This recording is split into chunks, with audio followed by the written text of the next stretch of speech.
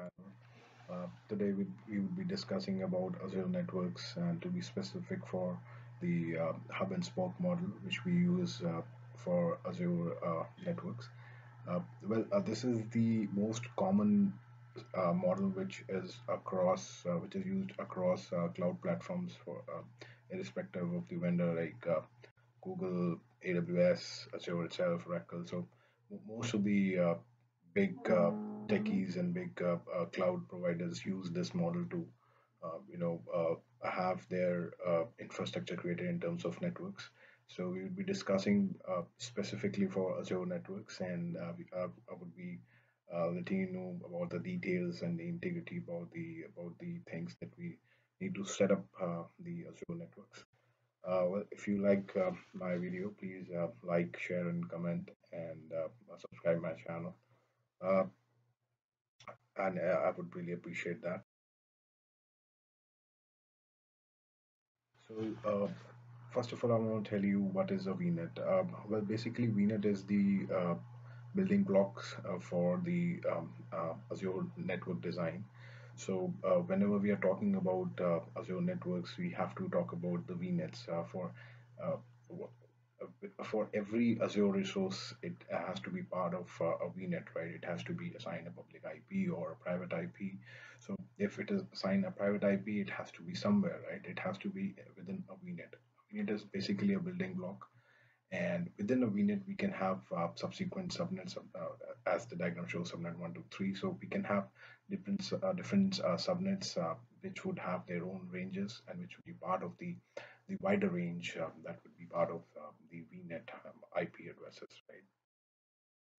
The, uh, in, in this diagram, you can see uh, that uh, there are different subnets. So by default, uh, the connectivity between the subnet is open. So they have their own UDR setup. Uh, any resources which is residing on subnet 1 will automatically communicate to subnet 2 and 3 and, and vice versa. So if, if you want to restrict that, we can have uh, different NSGs, which is the network security group. I have already uh, created a separate video for that. You can you can refer to that.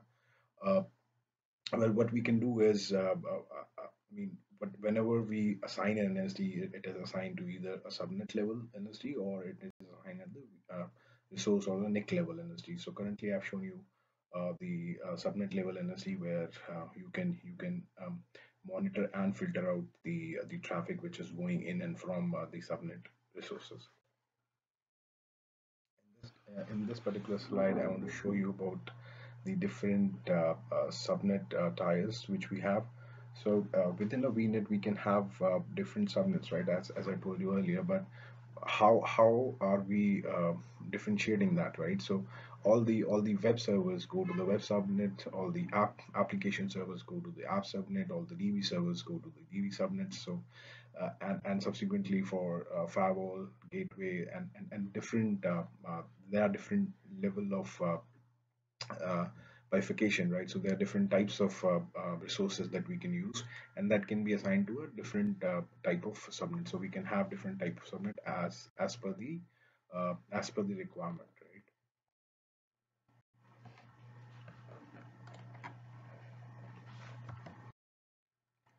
now let's talk about uh, the VNet pairing. So uh, any communication which is happening between um, uh, the VNets is has to be uh, done once we have a VNet pairing in between. VNet pairing is nothing but uh, the connection between one VNet and the other VNet. Uh, so any any communication which is happening between one subnet and the other subnet within a range, it's already open uh, but any communication uh, where a resource from one VNet wants to communicate to another another VNet, it has to be done once we have the connection in place, and that connection is called uh, the VNet. Uh, so the, the basic uh, rule for any VNet pairing is that there has to be no IP overlapping. So subnet one cannot have the same IP address as the subnet one in, a, in, in the VNet two, right? So until unless uh, there is uh, uh, the, the the IP ranges are different we cannot set up a VNet pairing. so there has to be no IP overlapping so there are two types of uh, uh, so there are two types of uh, VNet pairing. one is the local VNet pairing, where the VNet 1 and VNet 2 resides in the same region and and there is a global VNet pairing where the VNet 1 and VNet 2 resides in a different region. So we have different regions in, in Azure, right? So if if VNet 1 is in East US and VNet 2 is in West US, so if we have a VNet pairing in between, that is the global VNet pairing. But if they if the both the VNets are in the same location, that is East US, then uh, that it is called the local VNet pairing. So uh, uh, in in this particular diagram, it's shown that uh, you know currently we have uh, three VNets, right? So if there's two VNet, we can have the uh, you know VNet pairing in between. But if we have three VNets, um, for for any communication to happen, we we need to have uh, VNet pairing in between all three of them, right? So if we want VNet one wants to talk to VNet two, it has to be a VNet pairing between them. And if we want VNet one wants to VNet three also talk to VNet three, then it has to have a VNet pairing in between them so uh, subsequently, if the if the uh, you know number of VNet increases, so that is the problem, right? It, it becomes a mesh uh, topology where you know every VNet has to talk to uh, every other VNet, right? So if uh, if that's the case, then we have to set up too many um, VNet pairings, and that's that's an issue, right?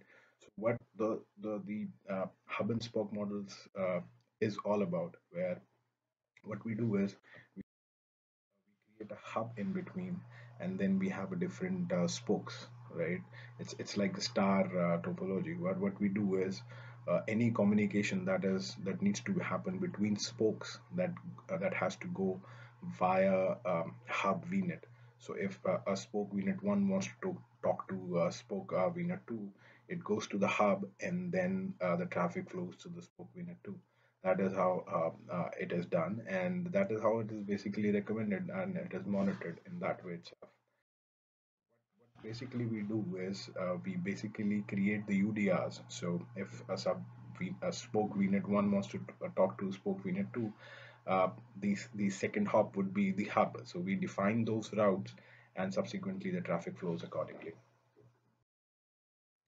so uh, in this slide, I want to show you about uh, the, the the practical thing, right? So we have we have on-prem where uh, we have all the uh, our data center, and then there's express route, uh, which is setups between the on-prem and the the uh, Azure Azure infrastructure, right? So any communication that is happening from on-prem to the Azure network goes through express route or site-to-site VPN uh, right and, and and the local VPN as well. So uh, we can we can set up all three or we, we can we can use any one of them. So express route is the is the uh, fastest one which is used by all the all the enterprise uh, global enterprise um, companies right? So uh, this is how uh, the the common um, infrastructure look like. We have a hub we have different spokes connected to the hub and then we have express route which is connecting the on-prem to the azure networks so uh, any any um, any communication which is happening uh, from the on-prem to uh, the Azure goes via and if you want to enable uh, the communication from spoke to the on-prem then what we need to do is we need to uh, enable the transit gateway at the hub level. And once we enable the transit gateway at the hub level the next thing we need to do is, is, is to allow the uh, remote gateway at the spoke level. So if we do these two things, then the communication would happen from the spoke to the on-prem. Uh, currently, ExpressRoute only uh, set up the connection from the hub to the on-premise, right? But if your spoke uh, resources wants to talk to an on-prem resources, I mean uh, VMs, right? Then then this uh, needs to be enabled. We need to enable remote gateway on all the spokes spoke VNet and we need to uh, enable gateway transit on the hub uh, VNet level. Uh, in, in this particular slide, I again want to um, you know reiterate that uh, any ranges that we define at the at the uh, subnet level that should not overlap, right? So if we have hub uh, VNet and the, the, the IP range is 10.1.00 slash 16 then we have subnets within that range. So it should not overlap with the, any of the spokes right? Uh, you can you can refer to the vnet 2 where uh, we have selected 10.2.00 and and subsequent uh, subnets has their own uh, IP ranges um, from the vnet uh, range itself. So the idea is to not overlap because if it is overlapping, then it will not communicate between each other. That's the basic uh, uh, you know rule for for any communication to happen. The other slide where, where I want to uh, reiterate is the practical scenario. This is this is this is actually the the architecture diagram which is I've just copied from Microsoft website, uh, Microsoft Docs.